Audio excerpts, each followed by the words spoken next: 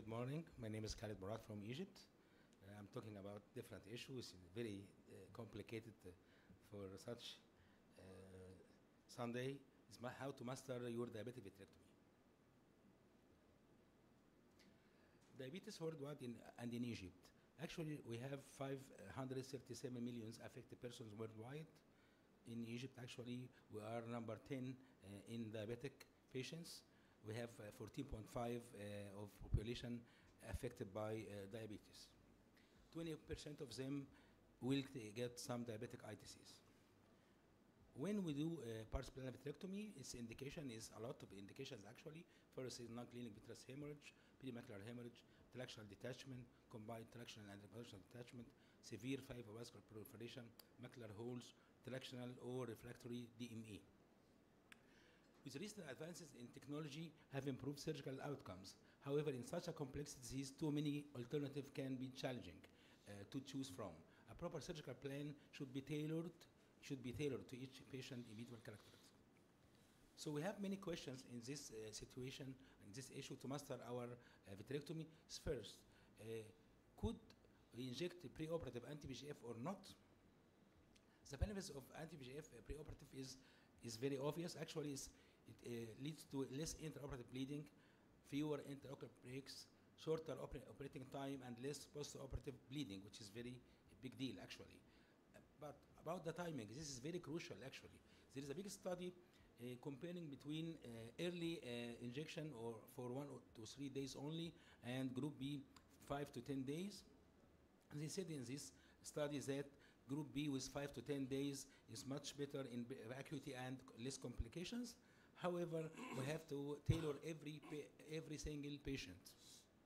I have a scenario of one patient who is 41 years old, type 1 diabetes. Pre-op was visual acuity with hand movement.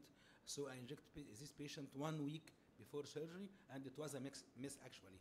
It ended with a crunch syndrome, as you see, severe ischemia everywhere, uh, severe fibrosis. So this is my mistake to do to do uh, one uh, uh, one week uh, anti-VEGF. As you see, it's very difficult operation. I got a lot of uh, of iatrogenic breaks because retina is very ischemic. So I think in this case it is bad to wait for one week. Other case with 46 years old, type 2 diabetes, preoperative uh, one meter. I didn't inject because I thought this is very, you know, this is uh, fibrous tissue only, no blood vessels here, so I will not inject anything here.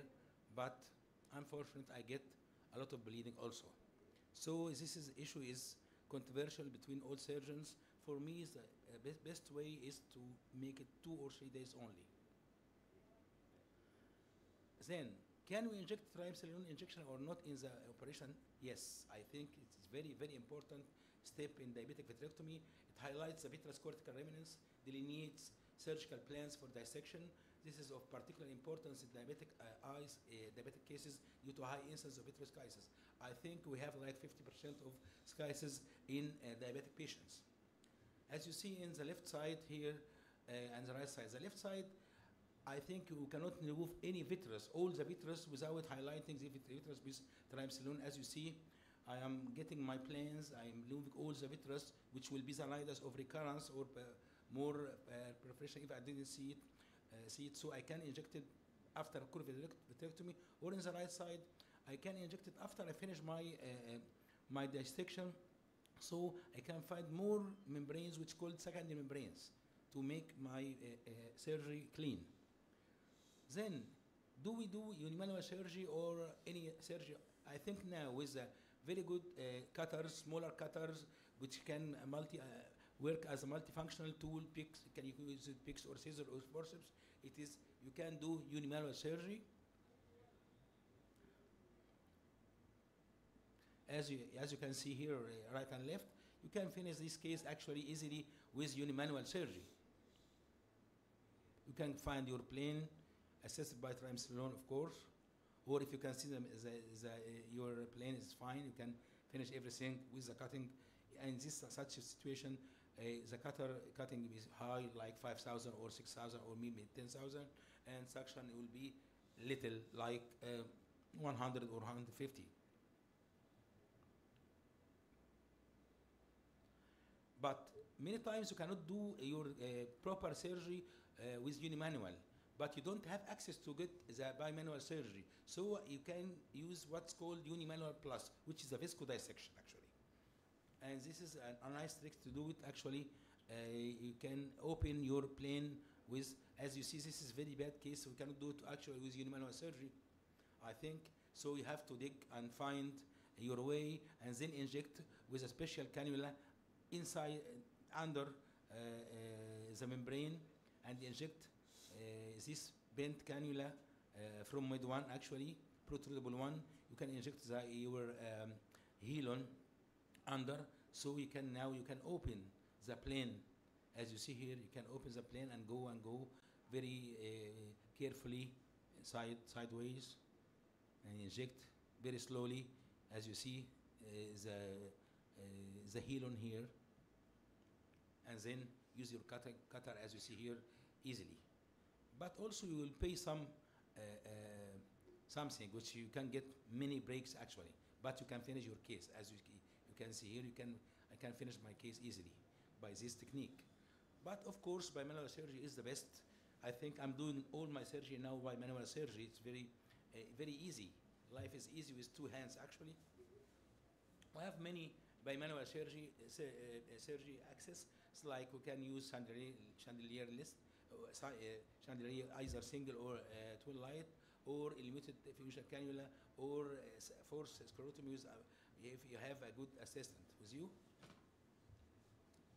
I think with a mobile retina like this, you cannot do uh, your manu- unimanual surgery. It will, uh, it will end, I think, by a disaster. So in such case, you need to fix your retina by forceps, and then you start to, dissect with uh, the, for, uh, the, uh, the your um, scissor and cut, as you see. Now his life is, I think, it's much easier now. It's easy. If it's unimanual surgery, I think I will get a lot, a lot of breaks here. Same. The same also.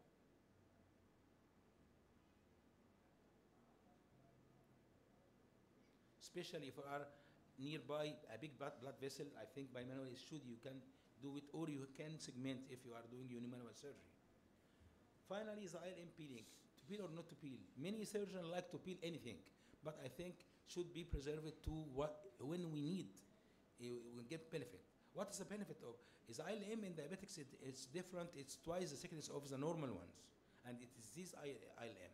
But we have to, okay. ILM, if we, ca- we, ca- we got macular hole, we, can, we should do ILM and invert the flap. If we have attraction DME, we have to, to, to remove the ILM to remove the epiretinal membrane to be sure that you are removing every, every membrane, you have to, to remove the ILM. But if non-traction DME, actually it's a big issue. I think if tractomy is not suitable actually for traction, non-traction DME, so also the ILM is not. Take home diabetic vitrectomy is complex surgery that needs to be customized to each patient specific situation. Less lens removal or sparing actually spare the lens as long as you can see well to avoid severe inflammatory reaction and neovas- and neovascular glaucoma. Pre-op anti-VEGF, it is a valuable uh, aid actually. Triamcinolone staining or not, it is a must for me to, to, to stain. Unimanual versus uni- unimanual plus or bimanual, bimanual surgery is the best. To peel or not to peel, ILM peeling should be reserved to for cases with evident epimacular retraction and done in a meticulous and safe way. Thank you. I'd like to invite you to our uh, International Egyptian Ophthalmological Society in April 24, 26. Thank you. Thank you, Dr. Khaled, for this wonderful presentation and these great videos.